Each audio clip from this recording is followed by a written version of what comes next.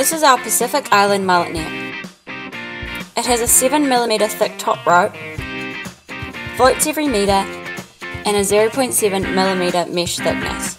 You can have a 3 inch, a 3.5 inch, or a 4 inch mesh size. It has a 8mm heavy duty lead core bottom rope,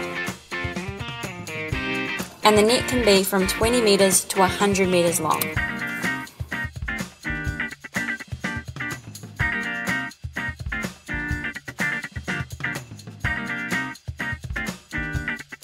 For more information, click the link below.